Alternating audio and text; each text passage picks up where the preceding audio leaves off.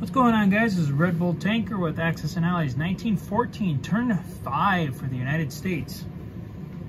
So, with not having to do a global perspective, like I, since I just did that with the Italian turn, I mean we could pretty much just go right into the American turn.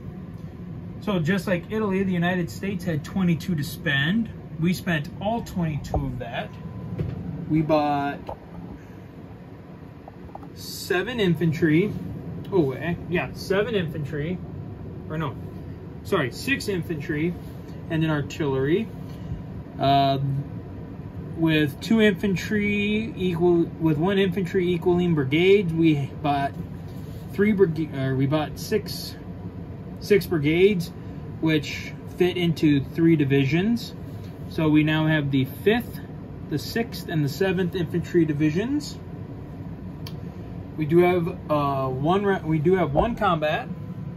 We are taking the four infantry, the four infantry brigades for the third and fourth infantry divisions onto this transport. Going one, two, and we are reinforcing the U.S. First Army here in Spain and conducting combat against the remainder of the Spanish forces, which is two infantry and an artillery. Results from that battle, we were able to destroy the remaining Spanish defenses. And our casualty, and while we were able to destroy all of the Spanish defenses. It came at the cost of a very bloody charge from the last brigade of the 1st Marine Division.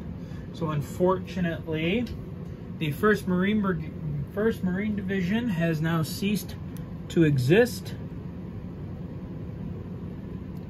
And now the 3rd and the 4th Infantry Divisions have taken over a brief occupation duty of Spain which is now in U.S. hands. And US, the U.S. will go up for IPC from 20 to 24.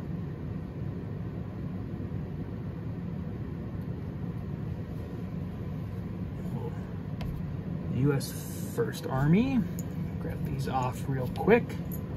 All right, then our only non-combat is we're taking three of our transports and bringing them back home.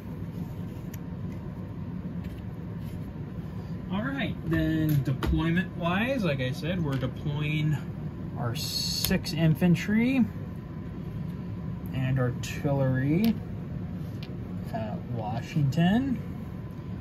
Throw out so five, six, and seventh infantries. All right, so then at the end of the turn, we now collect, we didn't save any, but since we went up four, we now have collected 24 IPC. All right, so then we'll go over the casualties for the end of turn five. Surprisingly, the Austro-Hungarians, since they did not attack, they did not suffer any casualties. The Russians overall suffered seven infantry killed. Germany lost 10, 15, 18, 19, 20, 21, 22 infantry, and three of their fighters. Most of this, all, almost all this came from the battle with the French in the Ruhr. France lost 15, 16, 17, 18 infantry and their three fighters. Britain lost one, two, three, four, 15 infantry and four artillery. The Ottomans lost 17 infantry, an artillery, and a fighter.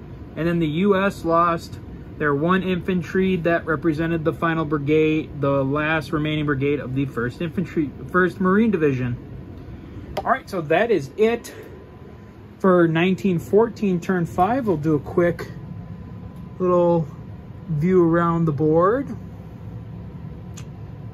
Britain did reinforce the French army in the Ruhr, so the Brits will also help the French in defending the Ruhr against any German counterattacks.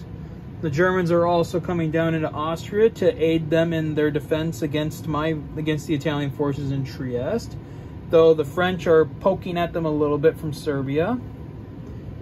The Brits and the Ottomans hotly contesting Mesopotamia between the two of them. That British infantry should not be there. He's dead.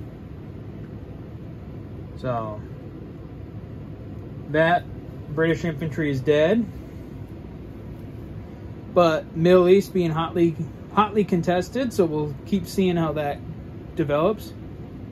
More stalemate on the Egyptian the Egyptian Jordan front with British and French forces moving to reinforce the area. And like I said, the uh, British wrapped up the final um, destruction of the German forces in Southwest Africa. So that is it for turn five. We are now heading into turn six. So that is it for turn five, and we will see you guys again for Italy turn six. So until then, guys, as always, take care.